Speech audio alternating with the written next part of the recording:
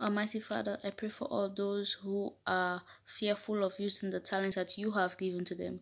Lord, I'm asking that you, God, will give them boldness, whether they will use the talents that you have given to them to bring glory to your name, to honor your name, to worship you, God, and Lord, also to, oh God, to multiply these talents, oh God, to do wonders for your God, to win souls for your God, in the name of Jesus.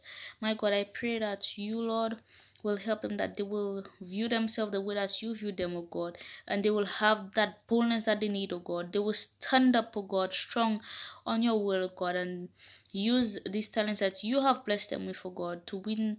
God, to just do what you have created them to do and call them to do, O God in the name of Jesus. And even when maybe they may be discouraged that you, God, will encourage them in a scripture, in a song, in a word, in a video, God. Lord, you'll encourage them, O God. Whether they, O God, will not give up, but Lord, instead, they, O God, will strive for, O God. They will strive, O God. They will, O God, accomplish that goal, oh God, with you by their side, oh God. Help them to always remember that they are never alone and you are always right there with them, oh God. So I'm asking that, Lord, you, Father God, remove that fear in them, oh God. And I pray that they will be, Lord, you will replace it with your fear, oh God, that they will be God fearing, oh God, in the name of Jesus. And Lord, they, oh God, will not just do it for themselves, but Lord, they will give all glory to your God. They'll do it to glorify your precious name, oh God. In your precious name I pray. Amen.